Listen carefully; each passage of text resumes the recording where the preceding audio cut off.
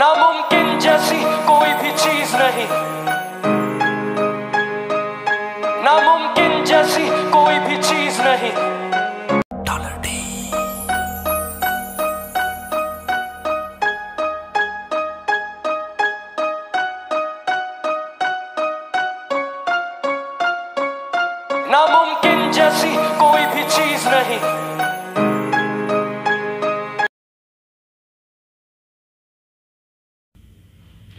नमस्कार दोस्तों, इस चैनल का होस्ट और आपका प्यारा दोस्त, पॉजिटिव गुरु, मोटिवेशनल स्पीकर, बिज़नेस कंसल्टेंट, आप सभी का एक बार फिर से स्वागत करता हूँ।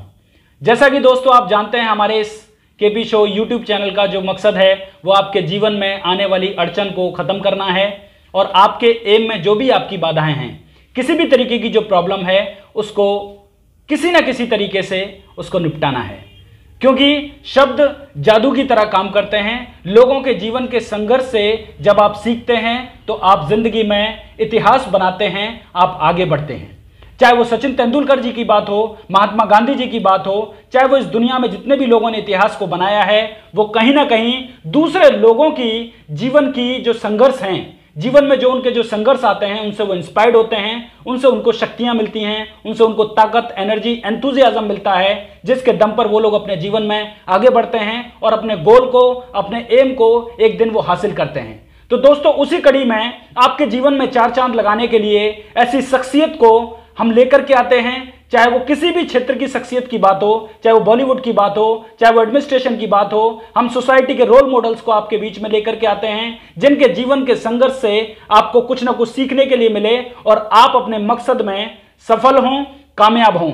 तो उसी मोटिवेशनल इंटरव्यूज़ की कड़ी में आज हमारे साथ में सोसाइटी के रोल मॉडल्स बतौर सफल पत्रकार टीवी रिपोर्टर हमारे साथ में मौजूद हैं विशाल सक्सेना जी। और विशाल सक्सेना जी के बारे में मैं सिर्फ़ एक ही बात कहूँगा कि समर में घाव खाता है, उसी का नाम होता है छुपा उस वेदना में अमर बलिदान होता, अमर बलिदान होता है। सृजन में चोट खाता है छैनी और हथौड़े की, वही कभी किसी मंदिर में भगवान होता है माय डियर फ्रेंड्स तो इन्होंने अपने जीवन में कई सारे संघर्षों का सामना किया है। चाहे वो किसी कंपनी को स्टैंड करने की बात हो, चाहे वो बतौर इवेंट मैनेजर काम करने की बात हो, चाहे वो मोटिवेशनल स्पीकर बतौर काम काम करने की बात हो, चाहे वो माइंड पावर ट्रेनर बतौर काम करने की बात हो, इन्होंने कई सारे क्षेत्रों में काम किया और आज टीवी जर्नलिज्म के क्षेत्र में मीडिया के क्षेत्र में, आज पूरे देश में ये झंडे गाड़ रहे हैं और आज इनकी मीडिया की कवरेज की पूरा देश और पूरे स्टेट में चर्चाएँ होती हैं माय डियर फ्रेंड्स तो मैं चाहता हूँ कि इनके जीवन के संघर्ष से आपको कुछ नहीं आपको बहुत कुछ सीखने के लिए मिलेगा। तो आप प्लीज़ फोकस कीजिएगा और इनके शब्दों से आपका जीवन काया पलट हो जाएगा। ये बतौर पॉजिटिव गुरु कांति प्रसाद मैं आपसे बात कर रहा हूँ। एंड तक इनके एक एक शब्दों पर आप ध्यान दीजिएगा। ये आपके जीवन को आज पूरे तरीके से बदल देंगे माई डियर फ्रेंड्स तो विशाल सक्सेना जी आपका बहुत बहुत स्वागत है। आपने हमारे चैनल को समय दिया टाइम दिया। Thank you very much Vishal Saxena ji. तो विशाल सक्सेना जी मैं चाहूँगा कि आप हमारे व्यूअर्स को अपने जीवन के संघर्ष के बारे में अपने जीवन के उतार चढ़ाव के बारे में और जो भी आप कर रहे हैं आप बतौर मीडिया पर्सन एक आ, एक सक्सेसफुल जो पर्सनैलिटी है बिल्कुल। आप जो है जीवन में इतना सब कुछ आप कर रहे हैं सभी लोग आपकी जो है तारीफ़ करते हैं। यदि बॉलीवुड में अगर बात की जाए तो आपने राजपाल यादव जी के साथ में चाहे वो और भी कई सारी सेलिब्रिटीज़ के साथ में आप जो है कनेक्शन में आप रहे आपने काम किया बहुत कुछ सीखा और आप कंपनीज़ के बड़े बड़े सीईओज के साथ में आपने जो है काम किया बड़ी बड़ी नेशनल मल्टीनेशनल कंपनीज़ के साथ में आपने काम किया। तो वो जीवन के जो संघर्ष हैं आपके जीवन के जो पल हैं उनके माध्यम से मैं चाहता हूँ कि आप हमारे व्यूअर्स को कुछ बताइए प्लीज़ सबसे पहले मैं सभी दर्शकों का शुक्रिया अदा करता हूँ और ख़ासतौर पर कांति जी आपका मैं नमस्कार प्रणाम आदाब आप करता हूँ। और एक शेर के साथ मैं मैं इस चर्चा को शुरू करता हूँ कि मुश्किलें दिलों के इरादे आजमाती हैं।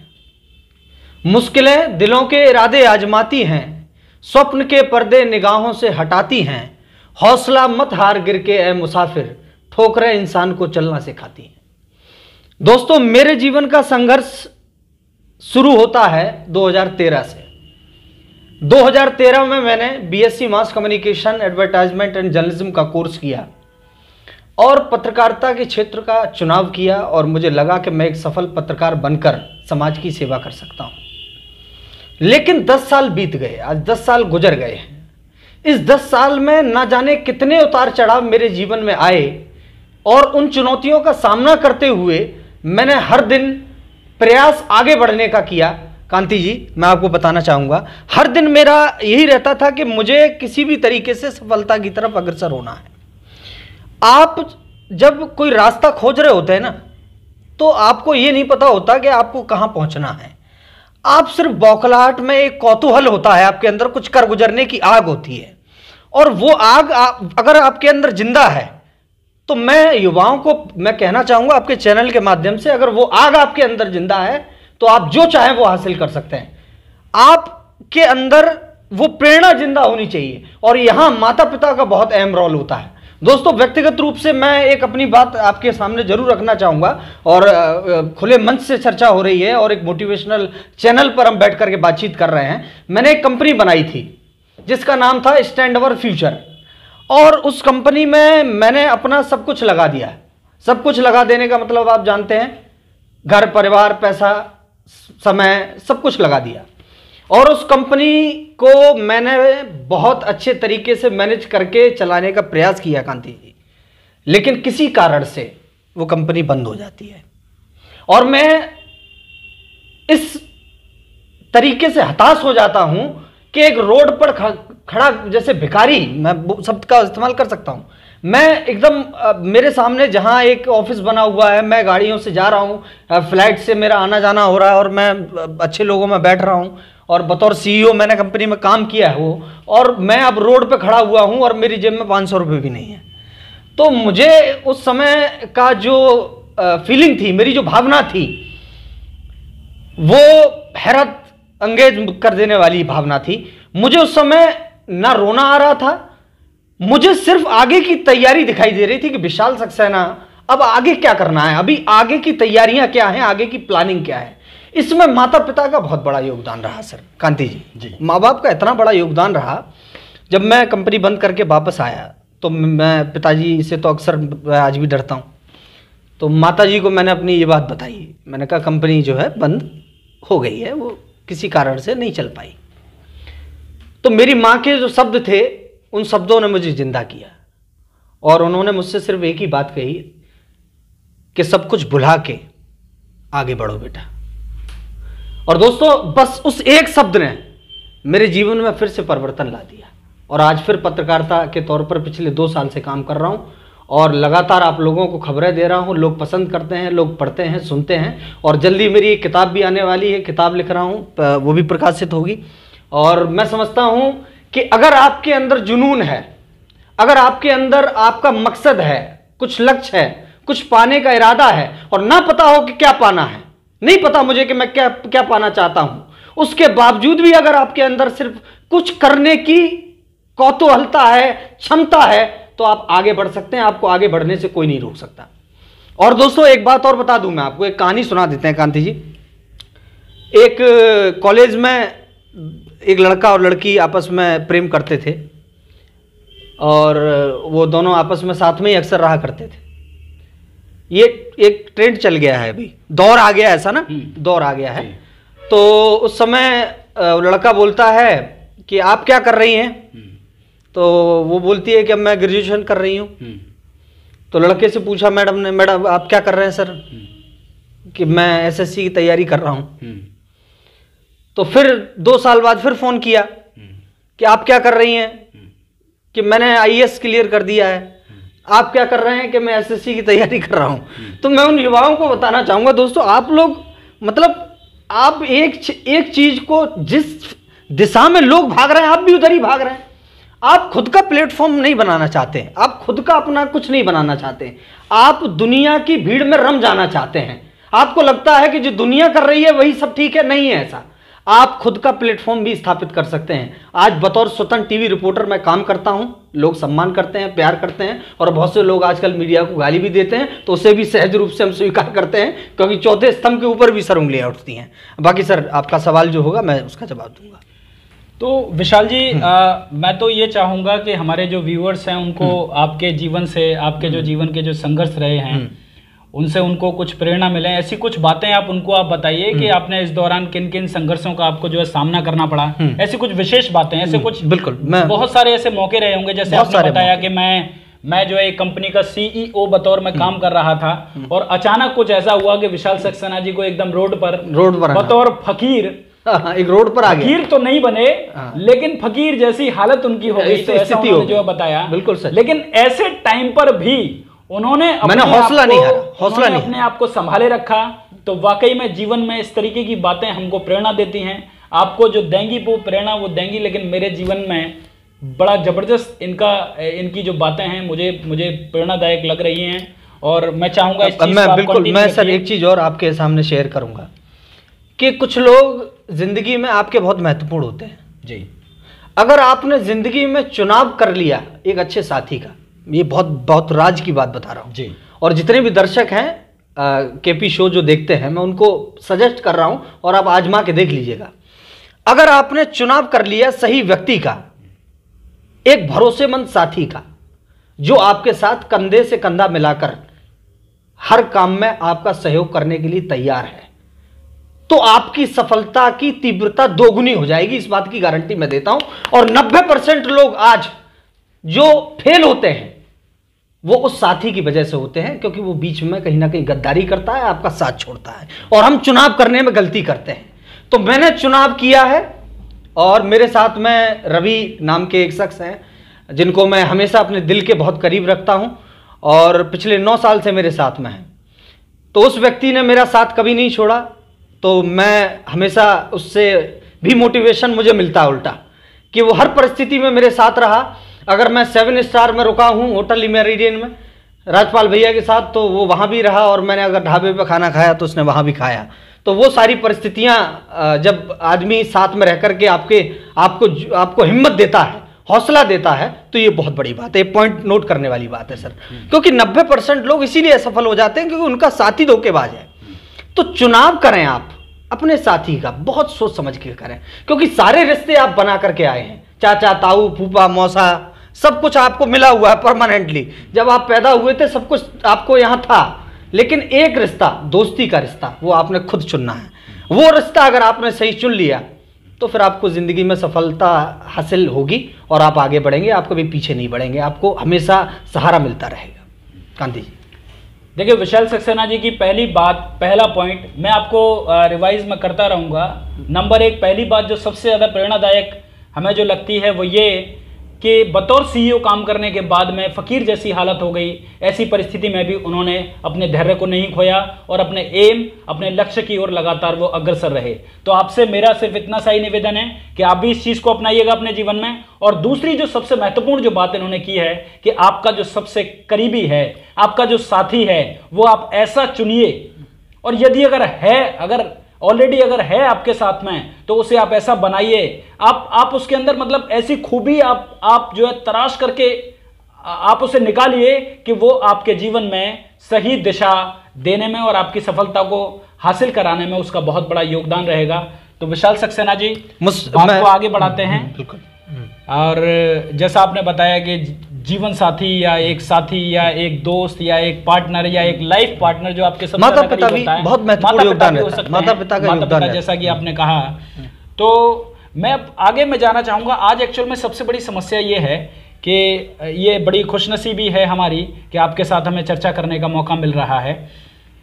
लेकिन आज जो युवा है वो बड़ा फ्रस्ट्रेट हो जाता है। हम्म। बड़ा परेशान हो जाता है बड़ा दुखी हो जाता है। और आ, बड़ी ऐसी मतलब उसको लगता है कि ज़िंदगी जो है खत्म हो गई या ज़िंदगी मतलब अब अब इसके बाद में जीवन का कोई महत्व नहीं रहा है। तो ऐसी स्थिति अगर किसी व्यक्ति के या यूथ के सामने अगर आती है तो ऐसी स्थिति में ऐसा कौन सा मूल मंत्र है जो वो अपने आप को संभाले रखें? एक ही मंत्र है सर। अगर आप जीवन में कहीं भी हताश और निराश हो जाए और आपके पास कुछ भी ना बचा हो तो उस शब्द को सिर्फ़ आप दोहराइएगा और मन में विचार कीजिएगा कि जब आपके पास कुछ नहीं होता तो आपके पास सब कुछ होता है। वर्ल्ड इज़ ओपन दुनिया खुली हुई है। और जब दुनिया, जब, और अगर आपके पास एक चुनाव करने के लिए कोई चीज़ है, अगर आप डॉक्टर बनना चाहते हैं तो आप अपना क्षेत्र चुन चुके हैं। अगर आप इंजीनियर बनना चाहते हैं तो आप अपना क्षेत्र चुन चुके हैं। और अगर आपने अपना क्षेत्र नहीं चुना है, और आप बेकार हैं, आपको लोग बेकार की नज़र से देखते हैं तो आपके लिए पूरी दुनिया खुली हुई है, हर फ़ील्ड खुला हुआ है, हर क्षेत्र खुला हुआ है। तो कहीं भी जा सकते हैं वो। उनको मैं समझता हूँ, निराश होने की ज़रूरत नहीं, हताश होने की ज़रूरत नहीं। संघर्ष किसके जीवन में नहीं आता? और संघर्ष होता क्या है? संघर्ष ज़िंदगी का मूल मंत्र है सफलता का। अगर जिसके जीवन में संघर्ष नहीं है, वो कभी सफल नहीं हो सकता। संघर्ष हमें निखारता है। जैसा सर ने शुरुआत में एक शेर के माध्यम से कहा था कि जब तक ना पड़े हथौड़े की मार तो मूर्ति नहीं बनती। तो वो आप ध्यान रखिए उसको, और हताश और निराश ना हो, और अपने आप को आगे बढ़ाते रहें। हमेशा, और किसी ने यहाँ तक कह दिया, एक शेर सुन लीजिए, कि लड़ता जा रहा हूँ मौजे हवा से। लड़ता जा रहा हूँ मौजे हवा से, अगर आसानियाँ हो तो ज़िंदगी दुशवार हो जाए। अगर आसानी से आपको हर चीज़ मिल जाएगी तो आपकी ज़िंदगी दुशवार हो जाएगी साथियों। तो इसलिए संघर्ष को अपने जीवन का एक हिस्सा मानिए, उसे आप प्रेरणा के रूप में लीजिए और उसे स्वीकारिए। और देखिए, आध्यात्मिक जब हम बात करते हैं, मैं थोड़ा सा चर्चा अध्यात्म पर भी करना चाहूँगा। आज यूथ कहीं ना कहीं इंटरनेट पर बहुत सारी गलत चीज़ों में इन्वॉल्व हो गया है। और मुझे ऐसा लगता है कि उनको थोड़ा सा आध्यात्मिक दृष्टिकोण अपनाना चाहिए। क्योंकि हमारा सारा जो हिंदुस्तान को अगर आप देखेंगे ना, जब स्टडी करेंगे तो आपको पता चलेगा कि हिंदुस्तान की हर समस्या का समाधान ग्रंथों में है। आप गीता पढ़ना शुरू करिए, आप बाइबल पढ़ना शुरू करिए, आप कुरान पढ़ना शुरू करिए, आपको इनसे ही समस्याओं का समाधान मिलने लगेगा। ये नहीं कोई चमत्कार होगा, आपको वहाँ से समाधान मिलते हैं। ऑटोमेटिक आपको समाधान मिलते हैं। और जीता जागता मैं इसके सामने उदाहरण हूँ। मैं एक बेकार आदमी मुझे मुझे लोगों ने क्या क्या नहीं कहा यार। मैंने सब कुछ सुना है सहा है लेकिन आज भी काम कर रहा हूँ और आज भी बहुत से लोग बोलते हैं। बहुत से लोगों के मुँह से निकलते हैं शब्द हम स्वतंत्रता है ना हमारे देश के अंदर। हम देश के प्रधानमंत्री को नहीं छोड़ते तो हमें लोग क्या छोड़ेंगे? बिल्कुल सही कहा आपने विशाल जी। भाई मुझे तो विशाल जी की लाइफ के बारे में जैसा कि ये जैसा ये आपके साथ में हमारे साथ में ये शेयर कर रहे हैं। अभी संघर्ष की बात करें तो संघर्ष से मुझे भी दो लाइनें याद आ गई हैं। चंद पंक्तियाँ मुझे याद आ गई हैं। मैं आपके सामने में ज़रूर मैं बोलूँगा कि विशाल जी का जो मानना है वो ये है कि न संघर्ष न तकलीफ़ तो क्या मज़ा है जीने में?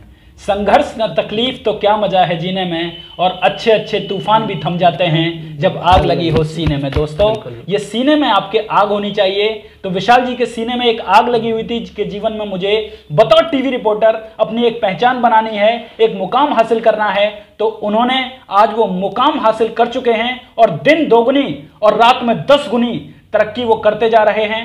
और जिस तरीके से उन्होंने अपने शब्दों से आपको और हमें प्रेरित किया है मैं और भी बात- चर्चा इसको थोड़ा सा और दूसरी चीज़ सबसे महत्वपूर्ण जो बात है जो उन्होंने अभी कही कि आध्यात्मिक। दोस्तों जब भी जीवन में संघर्ष जैसी कोई भी चीज़ आए तो आप सभी लोग आध्यात्म को अपनाइएगा। अब आध्यात्म में हम थोड़ा सा और जान लेते हैं विशाल जी से। विशाल जी आध्यात्म की आपने बात कही है तो आध्यात्म में ऐसा क्या करना चाहिए? कहाँ से शुरुआत? एक छोटा सा- बाइबल पढ़े तो क्या कहाँ से मैं गीता से उठाता हूँ कि तू करता वो है जो तू चाहता है। हम्म, पर होता वो है जो मैं चाहता हूँ। अब तू वो कर जो मैं चाहता हूँ और होगा वो जो तू चाहता है। आप जब गीता पढ़ते हैं तो गीता के अंदर आपको वो सारी चीज़ें मिल जाती हैं जो एक एमबीए के स्टूडेंट के पास जानकारी नहीं होगी, वो आपके पास जानकारी होगी। आपको अगर मार्गदर्शन लेना है तो आप गीता को उठा लीजिए आज ही उसको जा करके आप ले लीजिए और अध्ययन उसका शुरू कर दीजिए। मैं दावा करता हूँ इस बात का। मैं गीता का कोई प्रचारक नहीं हूँ मैं यहाँ कोई प्रचार करने नहीं आया हूँ। मैं सिर्फ़ आपको बता रहा हूँ अगर आपको दिशा अपनी निर्धारित करनी देखिए स्थिर नहीं है अगर आप। अगर आप स्थिर नहीं हैं आप बौखलाहट में बौखलाहट में सफलता छिपी है। ये तय है कांति जी। बौखलाहट में सफलता छिपी है। जी। आदमी जब कुछ करना चाहता है तो वो कुछ भी परिस्थितियों से लड़ता झगड़ता है जूझता है उसके सामने कोई भी काम आता है वो करता है। जैसे मुझे मैं जब भाग रहा था दौड़ रहा था तो मुझे इवेंट का काम मिला मैंने इवेंट का काम किया।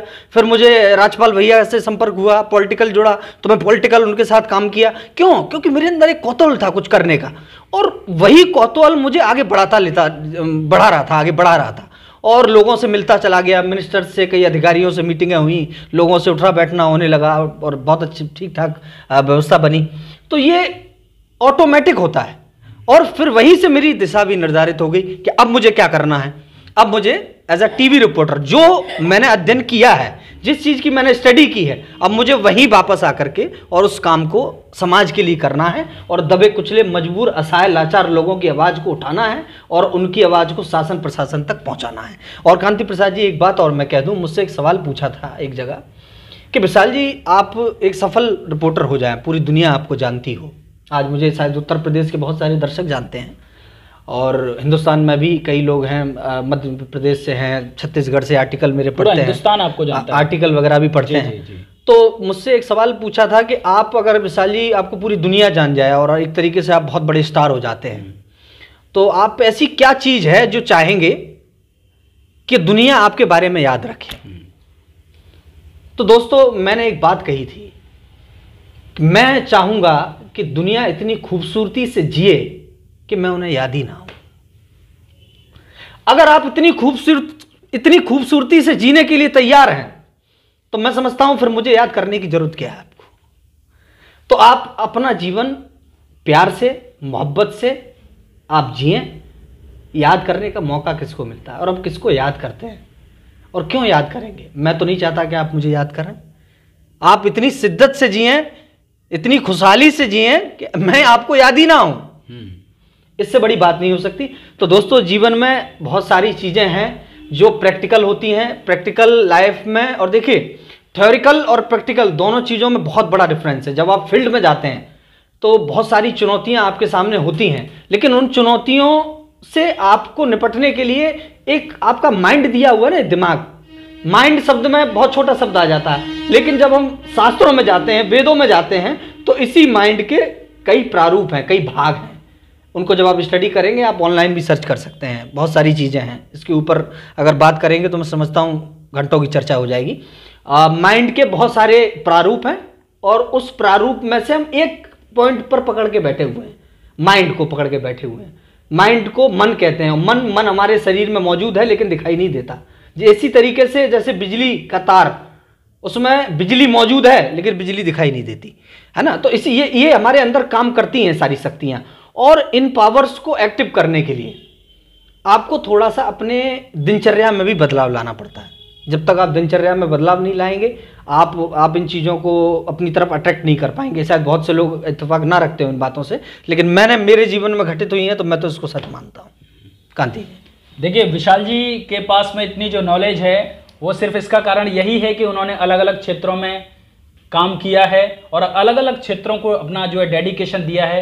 लेकिन लास्ट में फाइनली उनका जो जीवन का जो मकसद था, जो ध्येय था, जो एम था, जो लक्ष्य था, जो टारगेट था, वो था बतौर टीवी रिपोर्टर बतौर सफल टीवी रिपोर्टर अपने आप को स्थापित करना और इस देश तो क्या पूरी दुनिया में अपना नाम कमाना, वो उनका मकसद था। और इस मकसद में वो मुझे लग रहा है कि वो लगातार कामयाब हो रहे हैं और दिन दोगुनी और रात चौगुनी वो तरक्की कर रहे हैं। तो दोस्तों, मैं चाहता हूँ ये बातचीत का सिलसिला जारी रहे और लास्ट में मैं चाहूँगा कि विशाल सक्सेना जी हमारे दर्शकों को ऐसी बात बताएँ। ये बात तो आप जानते हैं कि जीवन में सफल होने के लिए, आपके एम को हासिल करने के लिए जिन टूल्स की ज़रूरत है, जिन सक्सेस के सीक्रेट्स की ज़रूरत है, इस चैनल का मकसद और हमारे इस इंटरव्यू का मकसद भी यही है विशाल जी के हर शब्द आपको टच करेंगे और आपके जीवन में आपको सफलता की ओर लेकर के जाएँगे। तो मैं चाहता हूँ, विशाल जी, आप कुछ ऐसा कुछ मूल मंत्र दीजिए हमारे दर्शकों को, क्योंकि ये तो आपने जो है बताया कि कि आप जो है गिरते पड़ते उठते बैठते आपको जो भी जैसे भी काम करना पड़े अपने लक्ष्य की ओर बढ़ते रहिए। बढ़ते रहिए। आपके हालात जैसे भी हों जिस तरीके के भी हों आपको डगमगाना नहीं है आपको परेशान नहीं होना है। एक दिन आप लक्ष्य को अपने को आप हासिल कर लेंगे। ऐसा कोई मूल मंत्र जो यूनिक हो कुछ खास हो जो हमारे दर्शक ज़िंदगी भर उसे याद रखें और वो कहें कि हाँ विशाल जी ने हमें वो मूल मंत्र दिया। चलिए, मैं- आप क्योंकि आप बतौर माइंड ट्रेनर बतौर मोटिवेशनल स्पीकर और बतौर इवेंट मैनेजर और आपके ढेर सारे लोगों के साथ में ऐसे बहुत सारे अनुभव रहे में। बिल्कुल बिल्कुल तो- अनुभव रहे हैं। देखिए मैं राजपाल जी का इसमें उदाहरण ऐड ऐड करना चाहूँगा। राजपाल यादव जी के ऊपर अभी बीच में एक संकट आया था और बहुत ही समस्याओं से वो गुजरे भी। लेकिन उन्होंने धैर्य नहीं खोया। एक स्थिरता इंसान के जीवन में बहुत ज़रूरी है कांति जी। अगर आदमी स्थिर नहीं है आप कौतूहल में रहते हुए भी स्थिर रह सकते हैं। आप खोजते हुए भी स्थिर रह सकते हैं। सबसे पहले आपको आप हैं। ये जीवंत ब्रह्मांड है। हम एक जीवंत ब्रह्मांड में रहते हैं और अगर इस सिस्टम को हमने ठीक नहीं किया है इसको अगर हम नहीं संभाल पा रहे हैं तो फिर हम अपने जीवन में क्या करेंगे? आप सोचिए लोग मुझसे अक्सर एक, एक सवाल पूछते हैं कि मेडिटेशन करते समय सर जब हम बैठते हैं मेडिटेशन करने के लिए तो हमारा दिमाग इधर उधर ख्याल आते हैं। तो मैं उनको बताता हूँ। मैंने कहा ऐसा करते हैं आप अपना लीवर आपका बंद कर दिया जाए आपका हा, हार्ट बंद कर दिया जाए तब आप मेडिटेशन कर लें। सिर्फ़ दिमाग से दिक्कत होती है। एक वो मशीन जिसको सालों लगे विकसित होने में करोड़ों साल लगे आज वही आफत की जड़ बन गई है। हाँ। ये वही मशीन है जिसने हमें कंप्यूटर दिया है। ये वही मशीन है जिसने हमें एरोप्लेन दिया है। हाँ। ये वही मशीन है जिसने थर्ड गॉड पार्टिकल ढूंढा है। और हम हम बात कर रहे हैं हम बात कर रहे हैं इन चीज़ों की तो दोस्तों आपको थोड़ा सा बस अपने आप को सतर्क और सावधान रखना है और स्थिर रखना है। देखिए कुछ लोग अपना लक्ष्य निर्धारित जो कर लेते हैं जो मिशनरी लो, लोग हैं मिशनरी जो मिशन बना करके काम करते हैं उनका एक अलग ध्येय हो जाता है। और जो लोग बिना मिशन के काम करते हैं उनका अलग ध्येय हो जाता है। तो दोनों का काम करने का तरीका अलग है लेकिन मूल मंत्र सिर्फ़ इसमें यही है कि हर बार परिस्थिति से गिर करके उठ कर के आपको खड़ा होना है। चाहे कितनी भी विषम परिस्थिति क्यों ना हो, आप सात दिन भूखे रह सकते हैं, मैं रहा हूँ जी भूखा। आपको अगर सात दिन भोजन ना मिले और आप रो करके आप गिड़गिड़ाने लगे, या जा करके आप आत्महत्या कर लें तो ये आपको खुद सोचना पड़ेगा ना सर। तो मैं सात दिन पानी पी करके रह करके अपना गुजारा चला सकता हूँ तो आपको भी इतनी क्षमता आपके अंदर होनी चाहिए। क्यों? क्योंकि आपको ये पता है कि अपना आत्मविश्वास आपने अगर ज़िंदा रखा है तो आप उस परिस्थिति से भी आगे निकल जाएँगे। आप उस परिस्थिति को भी चुनौती दे देंगे। तो कांति जी, ये छोटी छोटी सी बातें हैं और मुझे लगता है आपके दर्शकों को जो मेन पॉइंट, जो मुद्दा है, आपका मोटिवेशनल चैनल है तो वो मैं इतना कहना चाहूँगा कि आप जो भी कर रहे हैं अभी, अपने जीवन में जो कुछ भी आप कर रहे हैं, उसे थोड़ा सा आध्यात्मिक मोड़ देने की कोशिश करें। आध्यात्मिक होने का मतलब ये नहीं कि आप अध्यात्म में चले जाएँ। आप उसमें अध्यात्म को लेकर के साथ चलें। एक कहानी आपने सुनी होगी। एक अ, संत थे उनके दो शिष्य थे। तो उन शिष्यों में से एक शिष्य ने गुरुजी ने कहा कि बेटा जा करके आपको जल लाना है पानी लेकर के आना है। और उन्होंने एक दिया जला करके उसके हाथ में दे दिया। तो वो बोला गुरुजी यहाँ से तो सिर्फ़ पाँच कदम का ही दिखाई दे रहा है। मैं कैसे आगे बढ़ूँगा? तो दूसरा शिष्य भी वहाँ मौजूद था। उसने कहा कि गुरुजी मैं पानी लेकर के आता हूँ। और वो दिया उसने अपने हाथ में लिया और वो पाँच कदम जैसे ही आगे बढ़ा तो पाँच कदम फिर आगे बढ़ता गया फिर बढ़ता गया फिर बढ़ता गया क्योंकि वो रोशनी उसके साथ साथ चलती चली गई और वो कुएँ से पानी लेकर के वापस आ गया। तो आपको दिख रहा है यहाँ तक का है ना? अब आप सोच रहे हैं इससे आगे क्या होगा? अरे आगे की क्यों सोच रहे हैं? आप थोड़ा सा बढ़िए तो सही आगे तो अपने आप दिखेगा आपको। आप यहीं रुके हुए हैं ना आप यहाँ से देख करके बोल रहे हैं, आगे कुछ नहीं है। आप बढ़िए। आप बढ़िए ना। आप बढ़ेंगे तो आपको रास्ता आगे दिखेगा। ये मूल मंत्र मैं आपको दे करके जा रहा हूँ। और बा, और भी चर्चा मैं सर के माध्यम से करना चाहूँगा और मुझे अवसर मिला है। तो मुझे लगता है, देखिए, एक पत्रकार होने के नाते जो मेरा दायित्व है, उसका निर्वहन कर रहा हूँ। और जो समाज की दबे कुचले लोग हैं, मजबूर हैं, असहाय हैं, उनकी आवाज़ को हमेशा उठाता रहा हूँ। इसीलिए मुझे जाना भी जाता है। जितने भी मेरे आर्टिकल हैं वो ज़्यादातर मैं इन्हीं को लेकर के लिखता हूँ। मेरा एक दृष्टिकोण है पत्रकारिता का, एक नज़रिया है। उस नज़रिए पर कायम रह करके ही मैं पत्रकारिता करता हूँ। आज पत्रकारों के ऊपर जो उंगलियाँ उठ रही हैं तमाम तरीके की बातें होती हैं, लेकिन मुझे लगता है कि इस चौथे स्तंभ को अगर आज हमने कहीं भी सपोर्ट करना छोड़ दिया, मैं आप लोगों से आग्रह करूँगा तो इस देश की स्थिति में और ज़्यादा मुझे लगता है कि गड़बड़ हो सकती है। क्योंकि ट्रांसपेरेंसी पारदर्शिता मीडिया ही लाता है। आप सरकार के बीच में सेतु के रूप में काम करते हैं। एक जैसे पुल होता है, इस तरीके से काम करते हैं। अगर वो पुल टूट गया, खाट के चार पाए होते हैं ना, एक पाया भी अगर टूट गया तो खाट स्थिर नहीं रह सकती। तो आपको स्थिर बनाए रखना है और आप जो भी कर रहे हैं, उसमें आप संपर्क कर सकते हैं, मुझे कॉल कर सकते हैं, सर के माध्यम से आप नंबर ले सकते हैं और किसी भी तरीके की आपको कोई समस्या कोई परेशानी है तो आप मुझसे डिस्कस करें मैं आपको मैं चाहूँगा आप अपना नंबर भी शेयर कर सकते हैं बिल्कुल, ताकि आपको जीवन की समस्याओं को बिल्कुल। आप please number share Kanti ji number share तो करेंगे ही। मुझे एक छोटी सी बात और याद आ गई। जो लोग माँ बाप कल मैं एक खबर कर रहा था। एक लड़का नाम नहीं लूँगा मैं उसका अपनी बूढ़ी माँ को नब्बे साल की बूढ़ी माँ को एक कमरे में बंद करके चला जाता है। मैंने देखी इस न्यूज़ को, मैंने देखा। और उस बूढ़ी माँ को नब, वो लड़का दस दिन के लिए बंद करके चला जाता है और मैं वहाँ रिपोर्टिंग के लिए पहुँचता हूँ और उस लड़के से मिलता हूँ, उसके वहाँ सब मैं देखता हूँ, माहौल, फिर उसकी माँ से मिलता हूँ। बड़ा दुख होता है। मतलब उस बेटे के दिमाग में क्या चल रहा होगा और उस माँ के दिमाग में क्या चल रहा होगा? ये बहुत बड़ी संवेदना है युवाओं की। कि आज हम माता पिता के प्रति का जो हमारा कर्तव्य है, उसे हम भूलते जा रहे हैं। और एक बात जीवन में याद रखिएगा, जिस व्यक्ति ने अपने माँ बाप का कर्तव्य भूल गया ना, वो व्यक्ति कभी जीवन में कितना भी बड़ा बन जाए, वो सफल नहीं हो सकता। और सफल वही होता है, जो अपने माता पिता के कम से कम उनके नब्बे साल की एज में एक महिला को आप बंद करके और घूमने फिरने, ऐसे मौज करने जा रहे हैं। युवा पीढ़ी आज की, आप सोच समझ सकते हैं कितना बड़ा उस माँ के लिए कष्टदायक रहा होगा। कांति जी इस तरीके की जब खबरें आती हैं तो बड़ी पीड़ा होती है और युवाओं से मिलती है ये ये चीज़ें से युवा कर रहे हैं। तो कहीं ना कहीं ये देश के हित में नहीं है। कहाँ हमारा देश जा रहा है हम माता पिता का हम पूजते हैं। आप भगवान गणेश को याद कीजिए उन्होंने परिक्रमा करके माता पिता की पूरे ब्रह्मांड को ही अपने संस्कारों में ले लिया था। तो हम उस, उस देश के वासी हैं जिस देश में गंगा बहती है। तो भैया, थोड़ा संस्कृति का भी ध्यान रखें।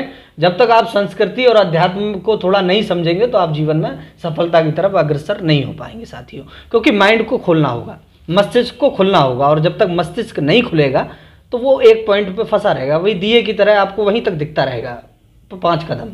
पाँच कदम से आगे देख ही नहीं पाएँगे। आप देख ही नहीं पाएँगे तो फिर आप आगे आगे आगे नहीं बढ़ पाएँगे। इसमें एक कुएँ का आप मेढक का उदाहरण ले लीजिए। एक समुद्र से लहर आई और एक मेढक कुएँ में आकर के गिर गया। अब वो बार बार उस मेढक जो कुएँ में मेढक था वो उसको बता रहा है। कांति जी वो उसको बता रहा है कि मैं एक ऐसे समुद्र से आया हूँ एक ऐसे समुद्र से आया हूँ जो कि बहुत बड़ा है। विशाल अब विशाल है वो बहुत बड़ा है। उसने कहा विशाल है? मतलब बोला इतना होगा ना? बोले भाई पागल इतना नहीं है। बहुत बड़ा है। बोले यार तो इस कुएँ से डबल होगा। कुएँ का मेढक बता रहा है। हम्म, बोले नहीं भैया कुएँ से भी डबल नहीं है। वो उसका कोई आकार ही नहीं है। तो वो बोला अबे पागल हो गया तो ऐसी कोई चीज़ होती है। तो भैया वो समुद्र है इस संसार में हम एक बूंद की तरह हैं। हम इस ब्रह्मांड में एक कण के बराबर हैं है ना? एक कण के बराबर हैं। और दिक्कत आज पता है क्या है? इस ब्रह्मांड में हम एक कण हैं और एक गली में हम बहुत बड़े व्यक्ति हैं। और उस बड़े व्यक्तित्व में इस छोटी सी गली में बैठ करके हम अपने आप को बहुत बड़ा आदमी समझ बैठे हैं। समस्या यहाँ आ रही है। तो आप थोड़ा सा जब आध्यात्मिक हो जाएँगे तो आपको आपका दृष्टिकोण सोचने का बदल जाएगा, और यह भी सोच बदल जाएगी कि ये जो पैसा कम, मैं पैसा कमाना चाहता हूँ। चलिए पत्रकारिता के माध्यम से मैं मैं पैसा कमाना चाहता हूँ। मैं क्या करूँगा उस पैसे का? मैं आज प्लानिंग करके बैठा हूँगा कि अगर मेरे पास धन आता है तो उस धन का मुझे उपयोग क्या करना है? समाज कल्याण के लिए क्या करना है? परिवार कल्याण के लिए क्या करना है? माँ बाप के लिए क्या करना है? आप समझ रहे हैं, सर? जी। एक प्लानिंग आप जीवन की कर अब जब तक आप प्लानिंग नहीं करेंगे जी। आप आगे नहीं बढ़ सकते। ये मेरा मैसेज है। तो दोस्तों माय डियर फ्रेंड्स इस चैनल के प्यारे प्यारे व्यूअर्स से मेरा सिर्फ़ इतना सा कहना है कि विशाल जी ने आज जितनी भी बातें कही हैं वाकई मुझे तो यहाँ पे सीधे गई हैं और यहाँ पे उतर चुकी हैं। मुझे तो बहुत कुछ सीखने के लिए मिला है। इस इंटरव्यू का ओवरऑल जो एक रिव्यू है वो मैं आपको दे दूँ। आपको फोकस्ड रहना है आपको अपनी प्लानिंग बना करके काम करना है अचानक से आप पर कोई हमला कर दे, आध्यात्मिक तो चीज़ का सामना करना सीख जाएँ पूरे तरीके से नहीं माता पिता के प्रति जो भी आपका कर्तव्य है जुड़े रहना है आप ताकि आपके जीवन की दिशा ये विशाल जी दिशा आज तय हो जाए आप- अपने एग्रेशन का है अपने गुस्से को आप मैनेज करना सीख कीजिएगा। बुरी परिस्थितियों का सामना सिर्फ़ सुनने से नहीं पिक्चर सिर्फ़ देखने से नहीं बनती पिक्चर बनती है जीवन में अप्लाई करने से। तो आज जो इंटरव्यू की पिक्चर आपने जो देखी है इनके एक एक शब्द तो छोड़िए। अगर आपने एक शब्द को भी अगर इस्तेमाल कर लिया तो गारंटी मैं देता हूँ दोस्तों पॉजिटिव गुरु कांति प्रसाद आज आपको गारंटी देता है कि आपका जीवन हमेशा के लिए बदल जाएगा। थैंक यू धन्यवाद। विशाल जी आपका बहुत बहुत धन्यवाद थैंक यू सर बहुत बहुत धन्यवाद। आपने शुक्रिया। मुझे अवसर दिया। और अंतिम संदेश सिर्फ़ मैं इतना ही देना चाहूँगा इस चैनल को सब्सक्राइब करें लाइक करें और सर का जो काम है वाकई बहुत सराहनीय कार्य कर रहे हैं। और मैं भी अप्रिशिएट करूँगा सर आपको और मुझे सौभाग्य मिला आपसे मिलने का। थैंक यू वेरी मच और हम जुड़े रहेंगे। बहुत बहुत धन्यवाद थैंक यू वेरी मच नमस्कार।